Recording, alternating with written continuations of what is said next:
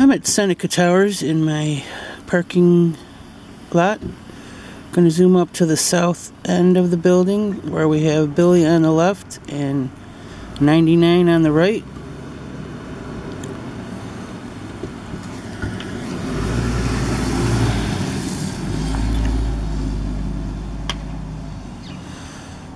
When I left downtown, uh, last I knew, Beauty, uh, DC was still in the elevator shaft and Beauty was on the south side arch of Kodak office.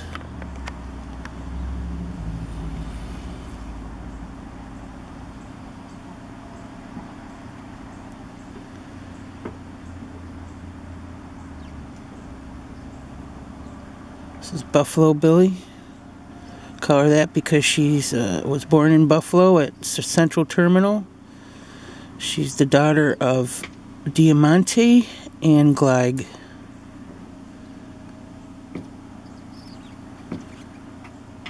Diamante is the son of Mariah and Kaver, the famous Rochester pair that nested on Kodak office.